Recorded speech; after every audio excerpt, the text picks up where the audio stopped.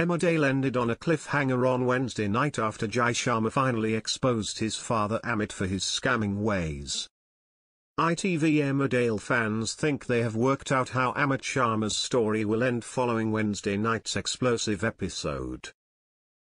Towards the end of the program, Amit's son, Jai Sharma paid a visit to Eric Pollard, who had been trying to expose the con man after he tried to steal money from him. Despite initially, brushing off Eric's claims, Jai finally realized who his dad was when he saw him give takings from the Hyde to loan sharks. However, Amit lied about where the money had gone and told Jai he was mugged and the money was stolen from him. Little did he know, Jai witnessed the entire thing unfold.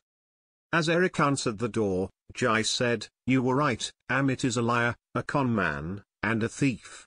I saw him today handing over the takings from the Hyde to a loan shark. Amit was saying to her, There is plenty where that came from. So he really is in serious trouble, Eric replied as Jai fired back, clearly. I should have trusted my instincts.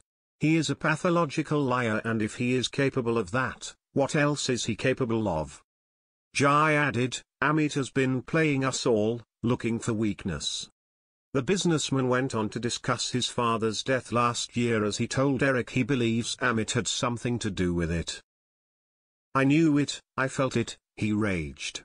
Amit has had us all in his sights. To rip us off. Amit is evil, I don't want him near me or my family. What are we going to do? Eric asked as Jai simply replied, may him pay. Following the episode, fans took to social media to share their own theories, and while many are happy Amit will be exposed once and for all, others don't think Jai can be trusted. Taking to X, one fan pleaded, Eric. Please don't hand everything you know about Amit over to Jai. He can't be trusted either. The apple doesn't fall far from the tree when it comes to that family. Another agreed, I'm not sure I trust Jai. I've never really liked him. He's always been shifty.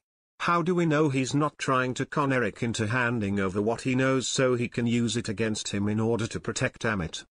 A third went on, Eric and Jai make a good team I hope they bring down that nasty man Amit. Time's definitely running out for Amit then, someone else suggested. Another said, time to take Amit down. One fan tweeted, Jai and Eric in a team and now they know who killed him.